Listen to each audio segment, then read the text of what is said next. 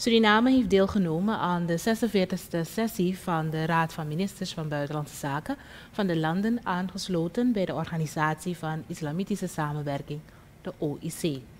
Deze sessie is gehouden in Abu Dhabi, Verenigde Arabische Emiraten, op 1 en 2 maart. Dit jaar is gekozen voor het thema Roadmap for Prosperity and Development. Dit thema past binnen het streven van de Surinaamse regering om welvaart en ontwikkeling te bevorderen. Daarom besloot de minister van Buitenlandse Zaken, Ildis Balak Begley, met haar delegatie deel te nemen aan de sessie van Surinaamse zijde. Ze legde de nadruk op handel, toerisme en cultuur. De OIC heeft een lidmaatschap van 57 staten verspreid over vier continenten.